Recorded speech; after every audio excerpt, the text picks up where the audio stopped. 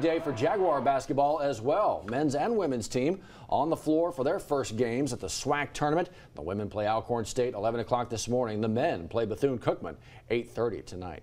One team